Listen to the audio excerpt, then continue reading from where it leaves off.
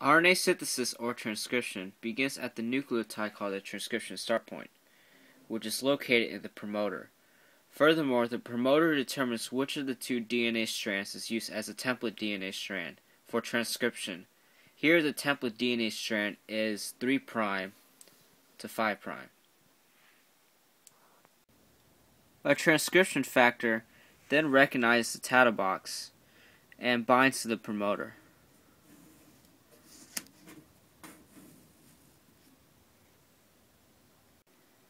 After certain transcription factors bind to the promoter, the RNA polymerase II binds to the promoter, which creates a transcription initiation complex.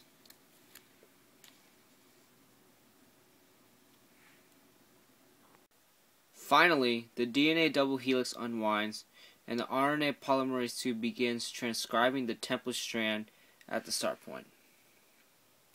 And this is the end of the initiation stage of transcription. During the elongation stage of transcription, the RNA polymerase moves downstream 3' to 5', unwinding the DNA double helix and extending the RNA transcript 5' to 3'. Also, the DNA rewinds itself as the RNA transcript separates from the template DNA strand. During the termination stage of transcription, the RNA polymerase transcribes the terminator sequence which stops transcription. After, the completed RNA transcript is released from the template DNA strand, and the RNA polymerase leaves the DNA. After transcription is RNA processing. Immediately after transcription, a modifying guanosine triphosphate is added to the 5' end of the mRNA. This 5 cap protects the mRNA from degradation and helps ribosomes attach to the mRNA. After addition of the 5' prime cap, the poly A tail comprising of 50 to 250 adenine nucleotides is added to the 3' prime end of the mRNA. Like the 5' prime cap, the poly A tail protects the mRNA from degradation and helps ribosomes attach to the mRNA. Also, the poly A tail seems to aid mRNA export from the nucleus. The next step to RNA processing is RNA splicing. Pre-mRNA, containing both exons and introns, joins with small nuclear ribonuclear proteins, or snRNPs, and other proteins to create a spliceosome. Inside the spliceosome, snRNA base pairs with nucleotides at the ends of the intron. The spliceosome then excises the intron and splices the two exons together.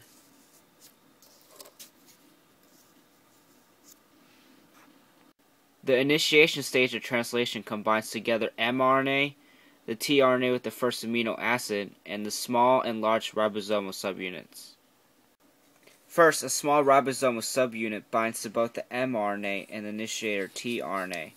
Downstream is the start codon AUG, which signals translation to begin. The initiator tRNA with the anticodon UAC base pairs with the start codon. Afterwards, energy from GTP is used to attach a large ribosomal subunit. This completes the translation initiation complex. After, the initiator tRNA stays in the P site, and the available A site is ready for the next amino acid tRNA. In the elongation stage of translation, amino acids are added one after another to the preceding amino acid. This stage occurs in a three step cycle and involves the participation of several proteins called elongation factors.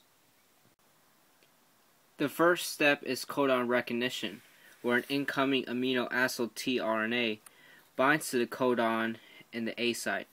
This requires the expenditure of two GTP molecules. The next step is peptide bond formation, where an rRNA molecule of the large ribosomal subunit, acting as a ribozyme, catalyzes the development of a peptide bond between the new amino acid and the carboxyl end of the elongating polypeptide.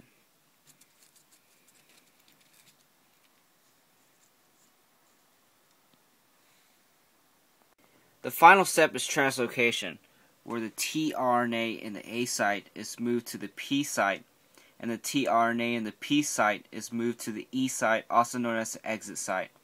And as a result, the ribosome shifts mRNA by one codon. Now that the tRNA is in the E site, it is now released from the ribosome. During the termination stage of translation, three events occur.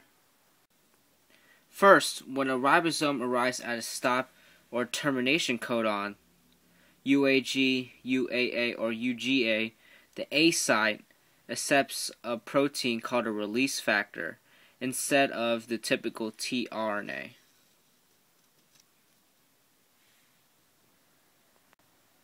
Next, the release factor hydrolyzes the bond between the tRNA and the P site and the completed polypeptide from the tRNA. This in turn releases the polypeptide from the ribosome. Finally, the two ribosomal subunits, mRNA and release factor, separate. And that's it. Transcription, RNA processing, and translation. Hope you enjoyed the presentation.